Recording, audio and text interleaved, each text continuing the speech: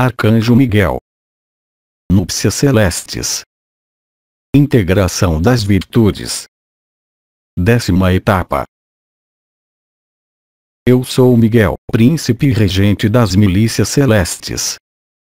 Bem-amados filhos da luz, bem-amados mestres da luz, eu os acolho, como vocês me acolhem. Vocês chegam, a partir de hoje, nas três últimas etapas capitais das suas núpcias celestes. Através destas três últimas etapas vai ser realizada, de maneira progressiva e intensiva, a realidade, em meio à sua dimensão, da totalidade da reunificação com seu veículo multidimensional. E será do mesmo modo para o seu veículo que lhes permite viver, a Terra. As condições requeridas ao processo da reunificação são, doravante, realizadas, Durante este período que se abre hoje, numerosos fenômenos vão acontecer nas suas estruturas, como nas estruturas da Terra e no conjunto deste sistema solar.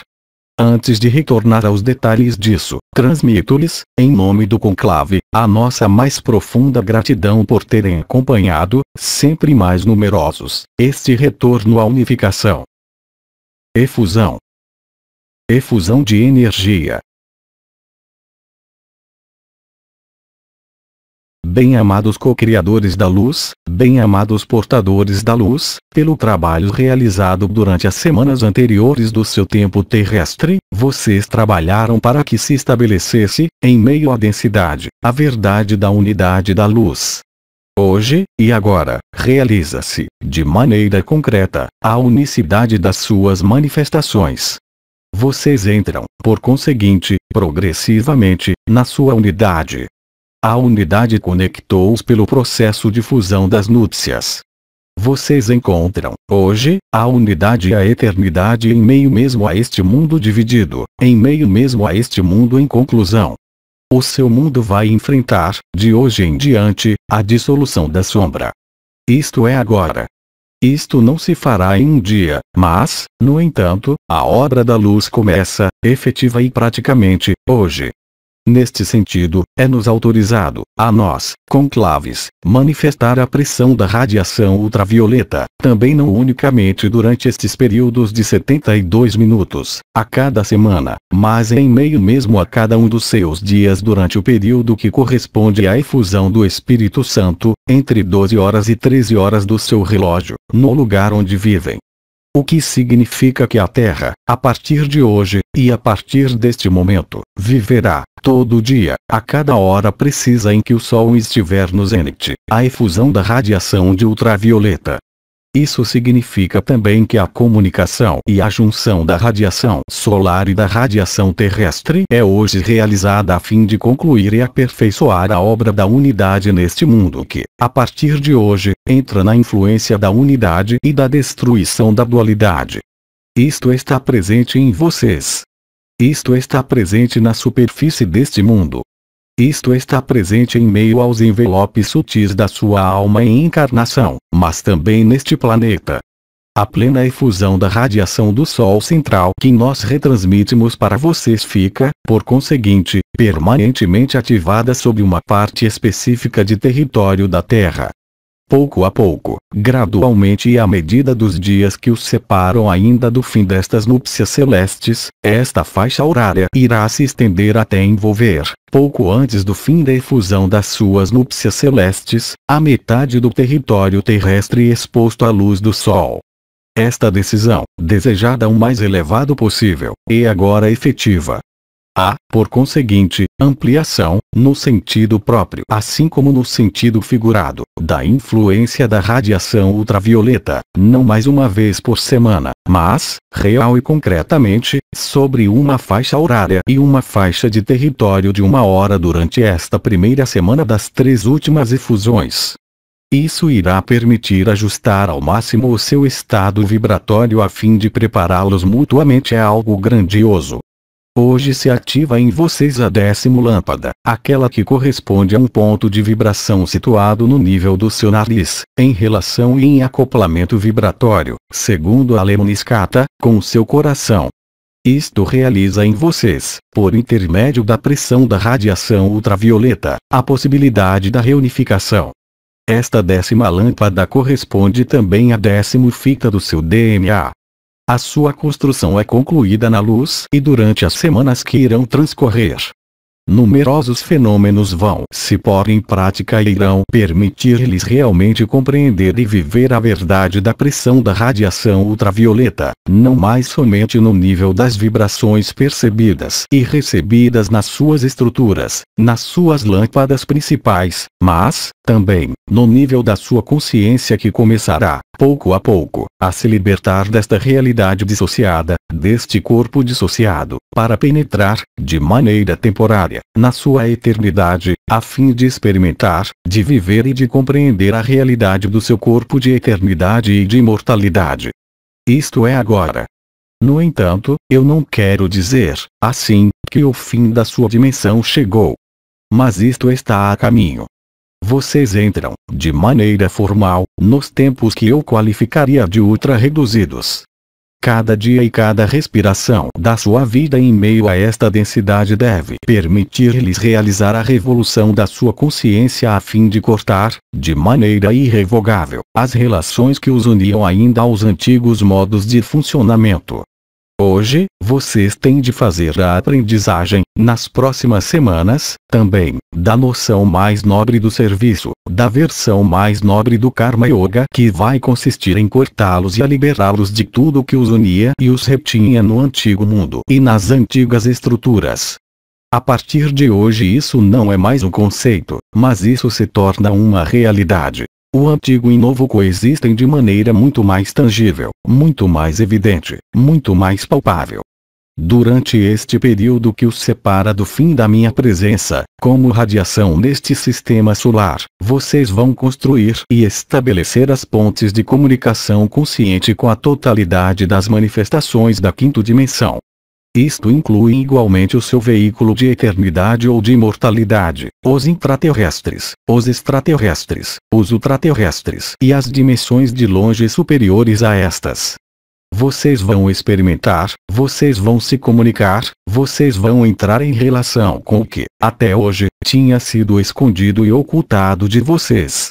Isto será uma grande ajuda no estabelecimento da sua autoconfiança, isto se tornou possível pela ativação desta décimo lâmpada denominada também décimo segundo corpo ou corpo de reunificação à sua divindade, corpo de reunificação à unidade, pela ativação deste ponto de vibração e pela colocação em funcionamento desta nova lâmpada em meio às suas estruturas, torna-se possível a comunicação entre o seu mundo dissociado e os mundos unificados superiores a vocês, isso, em vocês e em meio mesmo a este planeta. Não se surpreendam, portanto, se as manifestações luminosas, se as manifestações de outros planos dimensionais além deste, com órgãos de natureza da terceira dimensão unificada ou sob a forma de hologramas da luz pura e de translação dimensional temporal, começarem a aparecer nos seus céus, na sua consciência e se manifestarem, de agora em diante, ao conjunto da sua humanidade, este momento, hoje, assinala a abertura de uma porta importante que é a do retorno à unidade, em meio mesmo a este mundo dissociado. Após terem percebido, de maneira audível, o som se, após terem tentado estabelecer e continuar a estabelecer, nas próximas semanas, o silêncio interior, após terem, para alguns de vocês, penetrado o veículo de eternidade, vocês vão penetrar, agora, os espaços multidimensionais, em meio mesmo à sua terra e à sua vida, as manifestações dos mundos angélicos tornar-se-ão cada vez mais evidentes, gradualmente e à medida que os dias passarem. Isto não poderá ser escondido por muito mais tempo pelo grupo dos que controlam, ou tentam controlar, as suas vidas e as suas evoluções o retorno à sua unificação por intermédio da ativação da décima lâmpada, em meio à sua consciência em via de unificação, em meio à consciência da Terra em via de unificação, permite estabelecer a verdade, restabelecer a conformidade e deixar a luz inteligente, criadora, agir no seu mundo. Neste sentido, a desconstrução anunciada, e em manifestação desde o início do seu ano, entra agora e duravante na plenitude mais absoluta, permaneçam no serviço. Permaneçam no Karma Yoga, na resolução dos seus nós, na resolução consciente dos seus obstáculos e, assim, vocês irão penetrar em estado de alegria, a morada da imortalidade. Vocês irão penetrar em estado de liberação as moradas da unidade. No entanto, vocês irão permanecer ainda nesta dimensão a fim de assentar a nova vida no coração. Esse é o seu caminho, de vocês, de dezenas de milhões de seres humanos que participaram, de maneira eficiente, desta radiação. Não se esqueçam de que, agora, a cada faixa horária das 12 às 13 horas, durante, portanto, 60 minutos, vocês terão a conjunção do Espírito Santo com a efusão ultravioleta durante esta semana. Esta é, por conseguinte, uma semana importante para o seu devir e o seu futuro. Efusão da radiação ultravioleta. Efusão de energia. Durante os próximos dias e semanas eu irei afirmar cada vez mais a minha presença e a minha radiação em meio às suas estruturas eu tornar-me-ei, para vocês que aceitaram entregar a sua liberdade e o seu livre-arbítrio ao abandono à luz e à verdade da luz, cada vez mais afirmativo na minha efusão, na minha radiação, na minha presença, a fim de adequá-los, a fim de estruturá-los às vontades do Pai, às vontades da luz. Essa é a sua escolha. Essa é a sua verdade. Essa é a sua grande liberdade como seres de luz. A partir de hoje, eu imprimo em vocês, pela lemoniscata unindo o seu chakra do coração e a lâmpada do nariz, a capacidade para receber a minha vibração, para receber a minha presença na verdade, em unidade. Efusão da radiação ultravioleta e colocação em ação e em ressonância, em vocês, da lemoniscata sagrada unindo o chakra do coração e a décima lâmpada. Efusão de energia, Eu específico, bem-amados mestres da luz e criadores da luz, que a ativação desta lemoniscata sagrada deve fazer de vocês seres que evoluem no silêncio das palavras, porque as palavras que vocês irão pronunciar deverão ser marcadas de toda sabedoria possível. Vocês irão se tornar responsáveis pelas suas próprias criações. O que vocês chamarem, manifestar-se-á de maneira inegável. Se vocês falarem de amor, o amor manifestar-se-á. Se vocês falarem de divisão, a divisão manifestar-se-á. Não pode ser diferentemente na via da reunificação. Eu lhes peço então, encarecidamente, para abandonar, de maneira irrevogável e definitiva, os jogos de palavras e os jogos do ego, vocês devem penetrar, inteiramente, no serviço de uns aos outros e no Karma Yoga que irá lhes permitir apagar de vocês todas as consequências nefastas do que vocês empreenderam em meio aos mundos dissociados. Aí se encontra o caminho e a solução que lhes permitem viver, o melhor possível, na luz, na verdade e na paz, as efusões ultravioletas ocorrendo todo o meio-dia durante esta semana. Não se esqueçam de que vocês são, de agora em diante, co-criadores, criadores da luz, mas, também, criadores do seu próprio destino e da sua própria vida, na totalidade. Isto é uma responsabilidade. Isto é um dever. Essa é a sua liberdade. Ela implica, por sua vez, em um esforço da sua parte a cada momento e a cada respiração a fim de controlar o fluxo dos seus pensamentos, o fluxo das suas emoções, a fim de colocar-se diretamente em alinhamento com o espírito. Vocês não podem participar da luz e continuar a jogar o jogo da sombra. Vocês devem fazer crescer em vocês a lemoniscata sagrada, esta comunicação que eu estabeleci com vocês, a título individual e coletivo, a partir de hoje. Efusão da radiação ultravioleta no silêncio. Efusão de energia.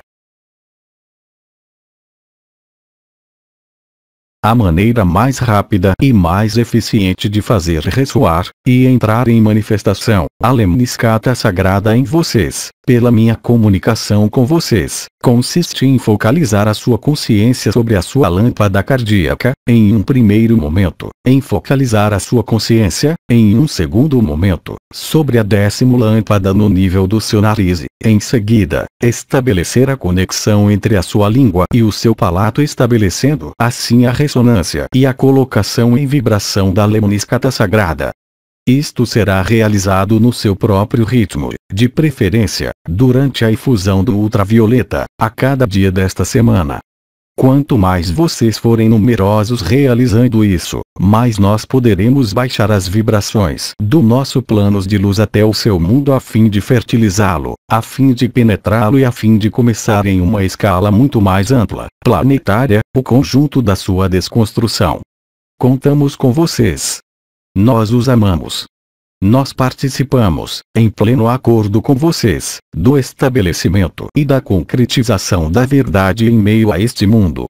Não se inquietem, de modo algum, com o que irá acontecer ao redor de vocês. Quanto mais vocês entrarem em ressonância com a lemniscata consagrada, mais estarão na paz, na verdade, na alegria, na unidade e vocês não poderão, em caso algum, ser afetados pelas diversas radiações emitidas pelo cosmos, pelo Sol e pela reação de medo dos seres humanos. Nada poderá afetá-los. Nada poderá perturbá-los em meio à vibração da unidade, em meio à vibração da unificação pela lemniscata sagrada, Bem-amados criadores da luz, vocês estão hoje em uma virada histórica nas suas relações e nas suas comunicações com a luz. Hoje, é-lhes permitido revelar o Pai, no sentido mais arquetípico e mais unitário da sua definição. A fonte das fontes, a verdade da fonte e a luz da fonte entram em ressonância, de agora em diante, com vocês, sem intermediários. Vocês permitiram isso pelo seu trabalho. Sejam eternamente agradecidos.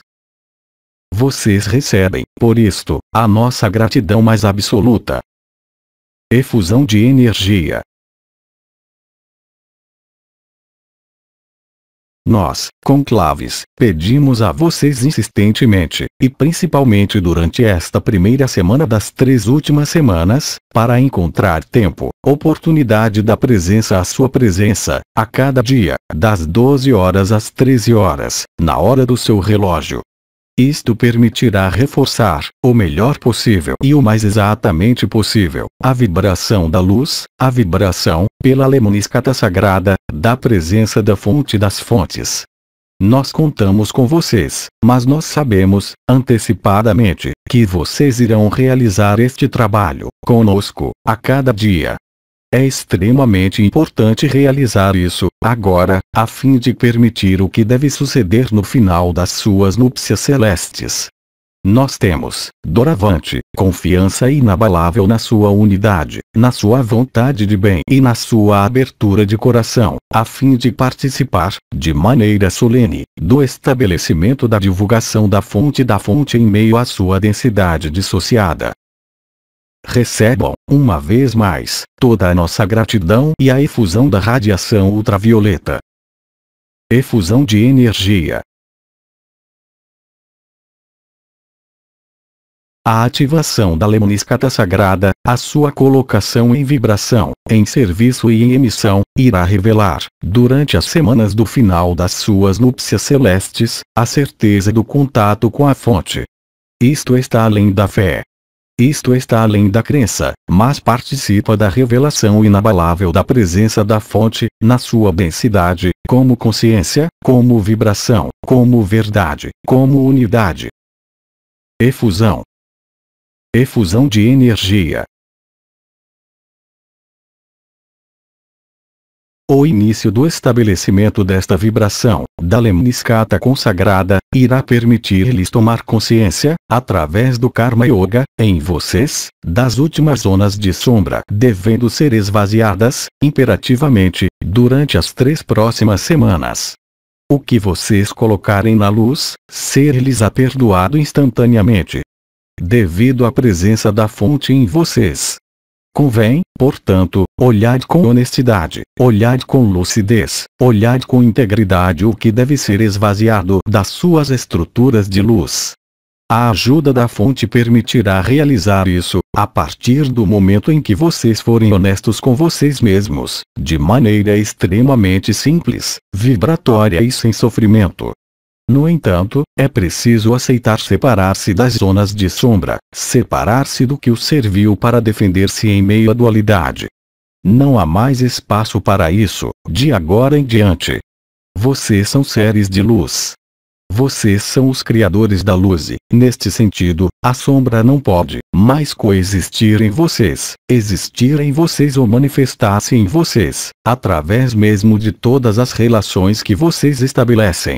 Além disso, o estabelecimento e a consciência da vibração da lemniscata consagrada irá permitir, em vocês, encarar, literalmente, todas as desconstruções possíveis ou mesmo inimagináveis nesta densidade, na paz, na alegria do samadhi, na alegria da paz e na alegria da eternidade. Essa é a garantia da sua integridade, na condição de que vocês sejam honestos frente a vocês mesmos e frente a todos os outros. Não pode ser diferentemente. Efusão da radiação. Efusão de energia. Bem-amados mestres e criadores da luz, a nossa próxima reunião, que verá a intensificação dos períodos de radiação ultravioleta, acontecerá no domingo da sua próxima semana, às 22 horas do seu relógio, no seu país, a França. Eu devo agora abrir um espaço de respostas às perguntas. Assim, os que seguem de maneira assídua as radiações ultravioletas poderão obter ainda respostas às suas interrogações bem legítimas em relação ao que vivem. Pergunta: O veículo de luz que está no Sol corresponde ao grande Eu? A pergunta que eu retorno a você é: O que você chama de grande Eu? Pergunta: O grande ser de cada um vocês são constituídos, seres humanos, de corpo, alma, espírito, em meio a esta densidade. Vivem no corpo e na personalidade. Entrar em contato com a sua alma já é uma abertura a certo grau de luz. Quando a abertura à alma torna-se completa, manifesta-se a abertura frente ao espírito. Vocês têm uma constituição de trindade, a Trindade, no seu mundo dissociado, como nos multiversos, nas multidimensões, evolui sempre de acordo com este modo trinitário por razões extremamente precisas. Assim, falar do grande eu em oposição ao pequeno eu, é o reflexo da sua dualidade. Eu prefiro que evoquem o nome e as seguintes palavras: a personalidade, a alma e o espírito o veículo multidimensional, que este seja um veículo de luz, um veículo de cristal, um veículo de diamante ou um veículo de luz triangular, pertence a outras dimensões que absolutamente a nada correspondem de conhecido em meio à sua densidade. A centelha divina que vocês albergam, em vocês, é apenas o mínimo que foi colocado em vocês. O máximo da luz do que vocês são é o seu veículo multidimensional, ele não pode, em caso algum, ser equiparado ao que chamariam de grande eu, ou eu, porque ele está muito além disso, muito além da manifestação tangível, até mesmo, do maior samadhi realizável em meio à sua densidade a passagem da sua consciência, de maneira efêmera e depois, um dia, definitivamente, neste veículo de eternidade, fará de você seres de pura luz, não tendo mais qualquer concepção nem qualquer lembrança deste que foi o eu, o ser, o pequeno eu ou o grande eu. Trata-se, portanto, de um referencial e de um nível de consciência que, até agora, apenas foi experimentado por alguns seres, no nível de humanidade, não há, então, qualquer coisa possível de ser dita sobre isto, a não ser vivê-lo. Nenhuma abordagem mental, nenhuma abordagem intelectual poderá servir para definir ou compreender o que são estes veículos. Somente a vivência da experiência irá dizer-lhes que vocês ali estão, mas, em caso algum, as suas concepções mentais ou as suas tentativas de apreensão em meio à sua dualidade. Pergunta: o que você chama de ultraterrestres? Isso faz menção a definições temporais que não saberiam compreender, mesmo pela luz. Os ultraterrestres, tentando empregar palavras da linguagem de vocês, correspondem a visitantes chamados de temporais. Isso excede largamente o que lhes é permissível compreender e assimilar através dos planos multidimensionais e dos multiversos.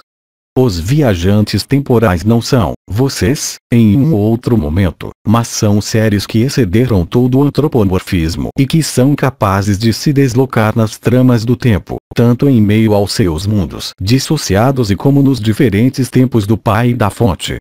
Os ultraterrestres são chamados assim em referência à mestria do tempo. Pergunta: A hierarquia arcangélica faz parte desses ultraterrestres? Não. Os ultraterrestres evoluem em planos multidimensionais que não são nem superiores nem inferiores a nós.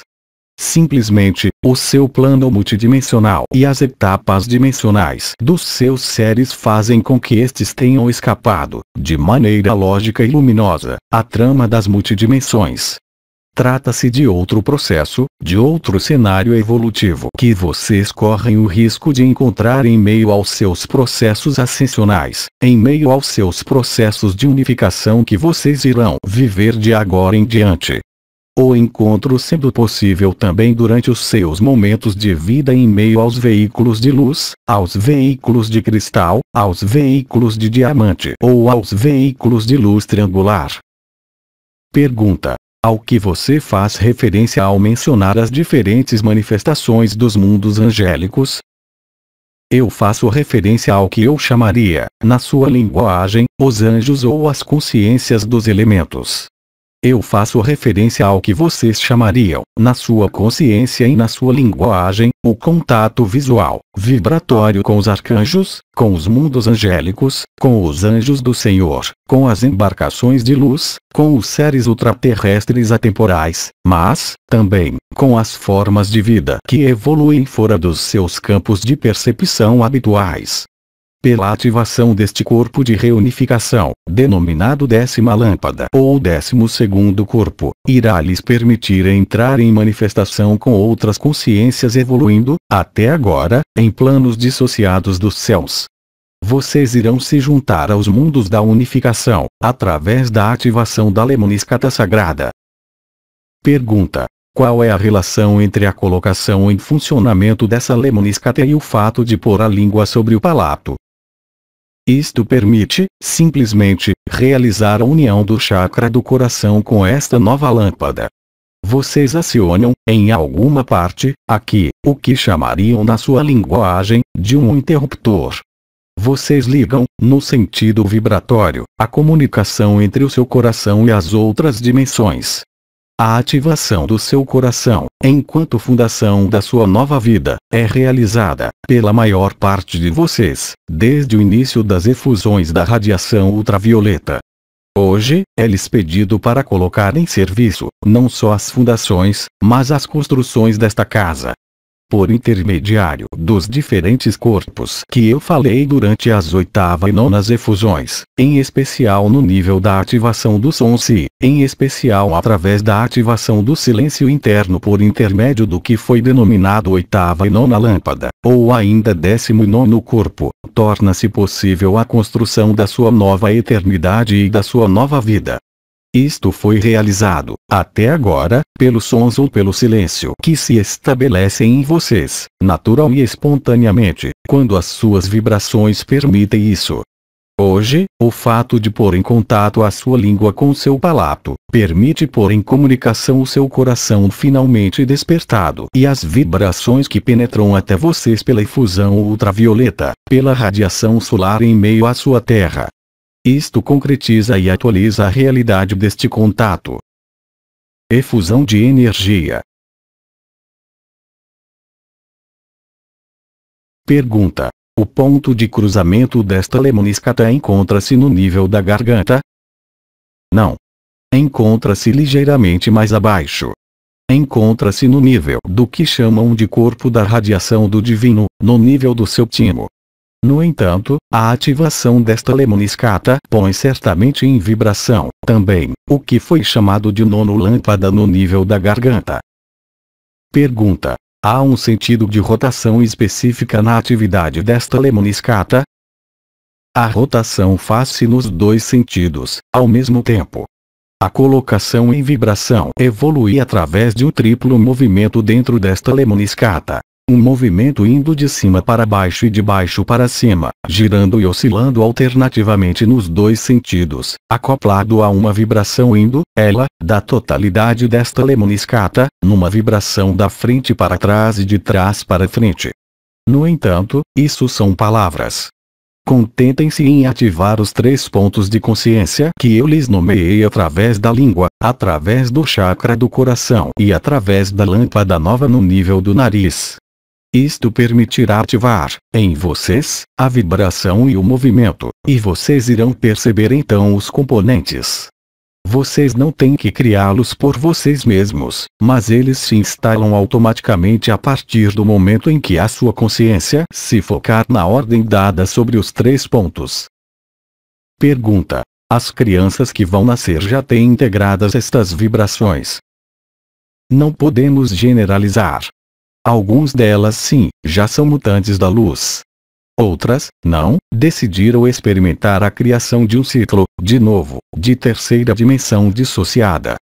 Eu aproveito para repetir que cada ser humano e cada consciência encarnada atualmente sobre a Terra estão em seu lugar e têm o seu papel, independentemente da sua idade, qualquer que seja a sua situação, independentemente do seu ofício ou da sua ausência de ofício, qualquer que seja a sua situação familiar, qualquer que seja a sua solidão ou o seu ajuntamento com outras consciências.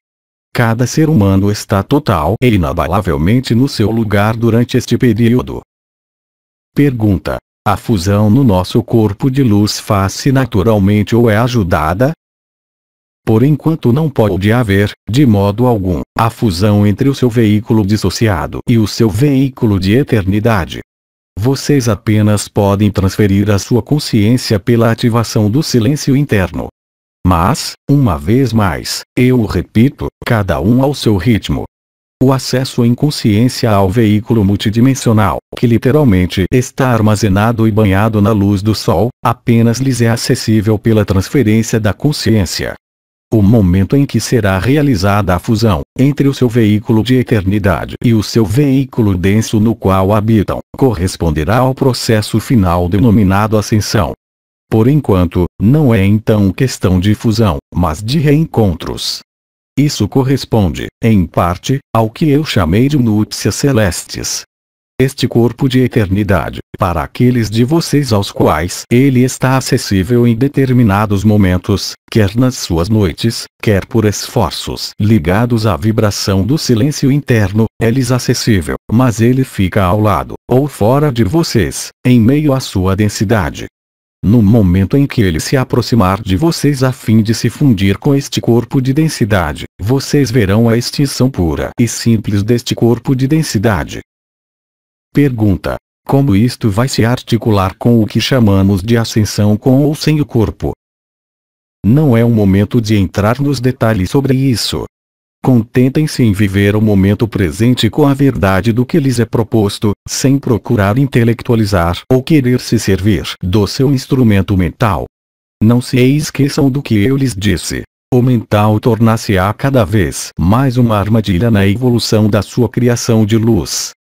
Recordem disso em cada minuto da sua vida, porque a armadilha, de agora em diante, não está nas forças da sombra, não está no medo, mas está, sim, no nível do seu próprio mental que fará de tudo para não morrer. Refletir sobre esses mecanismos futuros ainda não instalados, afasta-os da verdade. Eu não posso, então, levá-los a isso. Pergunta: Além do silêncio interior, para fazer calar o metal, um outro aspecto poderia também ali participar? Não. Só o silêncio interior, só a nota-se, é capaz de lhes garantir o silêncio mental. Só os períodos em que vocês entram em comunicação com a lemniscata sagrada, só os momentos em que vocês vivem no coração, realizam a morte do mental. Vocês não podem imaginar que o mental aceite ser servido pelo mental para provocar a sua morte. O que lhes é proposto, hoje, é um ensinamento que vai muito além de certas formas de exercícios espirituais ligados ao controle do mental. Vocês entram agora no silêncio do mental porque, no veículo multidimensional, não há mental. Há conhecimento, inteligência e verdade. Não há lugar para o aspecto discursivo do que vocês denominam seu mental, portanto, vocês não podem se servir deste instrumento para combater este instrumento. Vocês apenas têm que aceitar a vibração da luz. O sentido do serviço e o sentido do Karma Yoga correspondem também a este objetivo e esta facilidade de fazer morrer o que deve morrer. Vocês acedem a um mundo do supramental, o supramental não tem necessidade do mental. O supramental é esta parte iluminada do mental chamada de inteligência, no sentido mais nobre. A única maneira de fazer calar o seu mental, se vocês não forem capazes de aceder, por enquanto, à vibração da lemoniscata sagrada ou ao silêncio interno ou à nota-se, consiste em adotar os preceitos do serviço, Servir o outro, em todos os sentidos do termo, é o meio mais implacável na sua densidade, para fazer calar o mental. Se vocês chegarem a servir, até mesmo, assim como disse o Cristo, o seu pior inimigo, estão na verdade mais nobre. O Karma Yoga consiste em reparar o que deve sê-lo, em consciência e em verdade. Aí também, trata-se de um instrumento em meio à sua densidade, permitindo chegar a este estado. Vocês devem então empreender, realizar este caminho, pelo Bhakti Yoga, pelo Karma Yoga, pela vibração da Lemoniskata sagrada, pelo Si ou pelo silêncio interior. Os momentos passados, para aqueles que têm a oportunidade, em meio ao seu veículo de eternidade, são também de uma grande ajuda para compreender que se pode viver sem mental, sem emoção e sem ilusão, já, em meio mesmo a esta densidade. Pergunta: o som se aparece então espontaneamente. Da mesma maneira que a lemoniscata sagrada não deve ser trabalhada mental ou vibratoriamente, ele se ativa sozinho a partir do momento em que a sua consciência se colocar sobre os três pontos e as três etapas. Pergunta: A escuta exterior da nota se pode ser, apesar de tudo, uma ajuda? Não. Você fala de técnica, eu falo de consciência. Nenhum meio técnico, mesmo os cristais, não pode permitir isso. Só a consciência pura o consegue. Pergunta: Como passar da nota si ao silêncio? Isto se estabelece espontaneamente a partir do momento em que a consciência passar no si. No entanto, as três últimas portas de acesso à sua eternidade podem ser realizadas de maneira separada. Uma das três portas é suficiente para viver o veículo de eternidade. Então, cada um de vocês deve encontrar, em meio à sua consciência, qual é a porta mais fácil para abrir e destrancar. Vocês têm um meio importante colocado à sua disposição, por decreto da fonte, a partir de hoje e durante esta semana, durante o período das 12 horas às 13 horas. Aproveita isso. Não temos mais perguntas. Nós lhe agradecemos. Bem-amados filhos da luz, bem-amados criadores da luz, eu vou, então, deixá-los agora viver em silêncio, na nota sina lemoniscata sagrada, o final da radiação do ultravioleta a fim de que vocês estabeleçam o contato. Recebam, uma vez mais, e essa será a última palavra, os nossos agradecimentos, a nossa gratidão e os nossos incentivos. Nós amamos vocês. 28 de junho de 2009, a Utris Dimensirons. Tradução para o português. Zuma Peixinho. Nota. Lendo e ou escutando cuidadosamente as indicações detalhadas que seguem, vocês devem ter todos os elementos para seguir este acompanhamento e assim nos permitir ganhar um tempo precioso para as respostas de numerosas perguntas que nos são enviadas. Obrigado pela sua colaboração. O arcanjo Miguel propôs acompanhar-nos a viver as transformações ligadas às doze virtudes ou estrelas de Maria, em doze etapas, uma por semana. Miguel intervém então ao curso de uma canalização, alternando informações e fusões de energia adaptadas à virtude integrada neste dia. Você pode participar deste acompanhamento. Onde quer que você esteja. Em simples receptividade, sem conexão material em particular. Braços e pernas descruzados, de preferência sentados, as plantas dos pés ao solo, ou deitados, ou de pé. Durante os 72 minutos que duram a intervenção de Miguel a partir da hora indicada, ou no mínimo durante 20 minutos, a sua conveniência entre esses 72 minutos. No dia e na hora, francesa, indicados. Cada encontro nos é dado por Miguel à medida das suas intervenções, os próximos sendo no sábado 2 de maio às 15h30, hora francesa, e no sábado 9 de maio às 16h30, hora francesa. Até muito em breve então, em espírito.